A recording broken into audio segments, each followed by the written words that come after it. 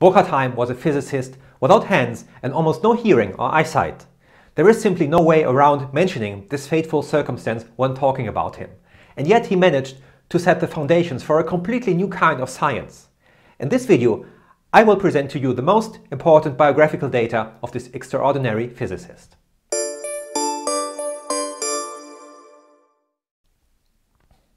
Hello and welcome to 6 Dimensions in Color. My name is Hannes Schmidt and I explain to you Burkhard Heim's worlds of thought in understandable language and illustrative examples. Most people I meet, even German people, have never heard of Burkhard And presenting his ideas in a nutshell is not easy. The more amazed people are when they learn about the circumstances under which he lived and conducted his work. For the whole history of natural science, his fate was probably unique. A biography has been written in German language by Illobrand von Ludwiger, Germany's most renowned UFO researcher and parapsychologist, who knew Heim for 40 years, for over 40 years, and was a close friend of him. In addition to the biography, von Ludwiger has also written many books and articles which refer to Heim's work. One of his books, The New Worldview of the physicist Burkhard Heim, has also been translated into English and is available as a free download if you check the link in the video description. Burkhard Heim was born on the 9th of February 1925 in the German city of Potsdam, which is close to Berlin. Today we would say he was highly gifted or a child prodigy. He could read and write long before he started school and was mainly interested in chemistry, or more mainly explosives actually, uh, and space travel and astronomy. Of course school then was boring for him. One day out of revenge against his unfair teachers he bugged all the school's doors and windows with homemade firecrackers. The whole thing went off as it should and was never tracked back to him because his teachers didn't think him capable of. But in his spare time he experimented like a pro with homemade rockets and thermite fuels. Like all young men of his year, he was recruited for military service in 1944 and first was sent to Holland and ended up in northern Italy. He knew if he could make a certain uh, a good impression on certain decision makers in Berlin, he would be able to return home and conduct and follow up on his research. So it came to be that he convinced none other than the Third Reich's armaments minister, Albert Speer, that he had developed a detonator for a hydrogen fusion bomb and wanted to test it. And so he began his work at the Reich's Testing Facility for Explosive Research, Reichsversuchsanstalt für Sprengstoffforschung, and there, on May 19, 1944, fate struck. He had a small sample of his explosive in his hand and later could only report, All I could see was the sun going over the small dish. I held the cartridge in my hand. Suddenly I saw an incredibly bright bluish-white flash, heard such a crackling and popping sound in my head and realized I was being lifted up and thrown against the wall. Both his hands were torn off, his eardrums destroyed, his eyes blinded. Heim later looked back to his, this day as fateful because, on the one hand, it took him off a destructive path he was following, but on the other, he was in his misfortune, he was fortunate enough that he could master life again later.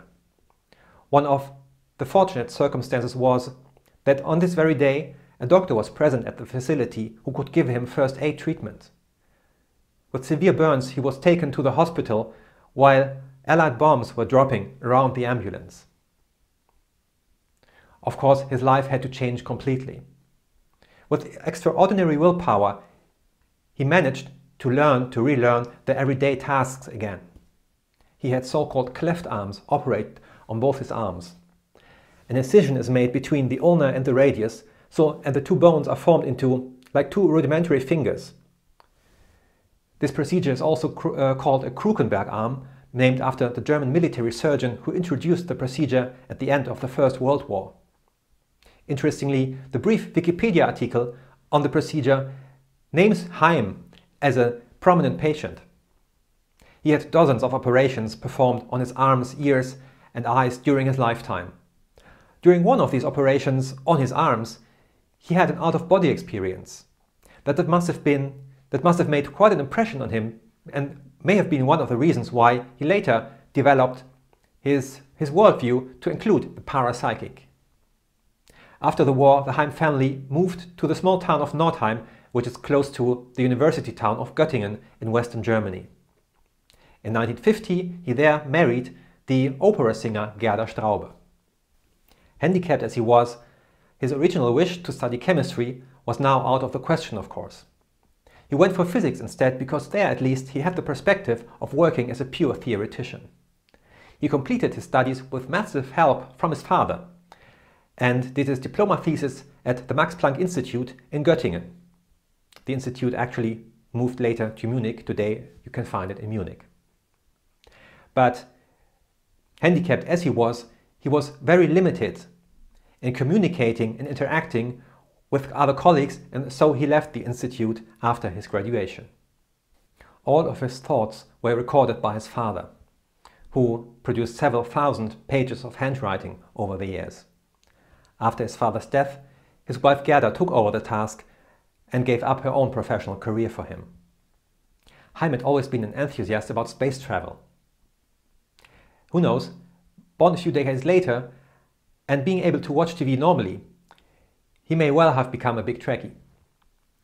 But strange as it, as it may sound to you today, in the Germany of the 1950s, the whole subject of space travel was considered extremely unserious. You made yourself a fool if you talked about it openly. Hard to imagine, but you hear things like, we will never be able to hang satellites above the Earth's atmosphere whose sensors would provide reasonable measurement data Due to the many perturbations, satellite orbits cannot be kept stable. Said none other than Professor Carl Friedrich von Weizsäcker, who was head of the, of the very institute where Heim did his diploma thesis. I'm at a complete loss why those we consider the brightest of us always repeat the same mistake over and over again and never learn from the history of natural science and always say in some manner, if God had wanted man to fly, well, you know the rest. Anyway, despite all that, Heim had already, during the time of his studies, started working on a unified field theory and also given private lectures on it and caused quite a stir. His first public presentation was in 1953 and he presented a concept for a field propulsion drive. That is, a craft that generates its own gravitational field and is propulsed by the means of it. Hardly anyone in the audience understood him, but he caused quite a stir that brought him funding. Especially we should mention the company MBB, who financed him for many years later, because they wanted to be the first ones to, to benefit from this new propulsion technology. Late honors and thanks for company MBB, maybe they should regard it as a very long-term investment.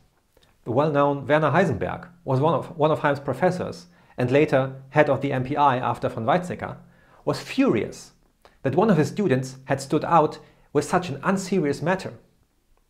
But in truth, Heisenberg must have known that Heim had it in him. The following anecdote had, has been handed down by Heim's wife, who was once in the next room when he, she, heard, she heard Heisenberg talk to his colleague and say about Heim, we must not let him come up, he'll obliterate us. Heim, however, did not make as, as, as much or as fast progress as he had anticipated. Again and again, he had to undergo surgery, mainly to keep the rest of his hearing and eyesight. He also wanted only to publish his work after he was done with everything, like he thought it would be, against the advice of, of all of his friends and many high-ranking professors who stood by him. He was actually known and respected by many of Germany's most important physicists of the age like von Weizsäcker, Pascual Jordan, or Professors Lyra and Hoare. Finally, he was ready in the late 1970s, but then had massive problems publishing. Everyone wants to read brief articles and not thick books, and the theory has, had simply become too vast to describe it briefly. Heim was at a loss. And in his despair, he decided he'd publish with a friend, Professor Andreas Resch from Innsbruck, Austria.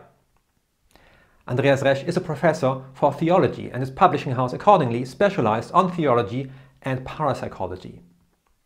And Heim was very much resented for this by, his, by most of his physicist friends. Also, the books weren't probably lectured in this publishing house and contained several errors. which made, made them difficult to read and recapitulate. However, these had no influence on the fact that his calculations led up to a unified mass spectrum of the elementary particles. That's something no approach has ever even remotely achieved. Largely unnoticed, he continued his work, gained some enthusiasts and followers, and for a time worked together with the Austrian mathematician Walter Dröscher. Heim died on January the 14th, 2001 in Northeim, where he had lived for almost 50 years. In the German-speaking countries, Heim today receives most attention by people who search for alternatives to the mainstream model of science. There are many good approaches and intentions here, but also some esoteric wild growth with which Heim himself would, would have despised, where authors refer to Heim as a kind of guru and think that good, that's good publicity for their own work without ever taking the time to, to understand his theories in detail. Heim was well aware that others would have to carry on his work in the end. That's the, the very reason why I am doing this channel and maybe that's even the reason why you are watching it. So if you like my videos, subscribe to my channel, enable notifications and if you even want to support me, have a look at my site on Patreon. I will continue presenting Burkhard Heim's work in English language, in short YouTube portions and in six dimensions and in color.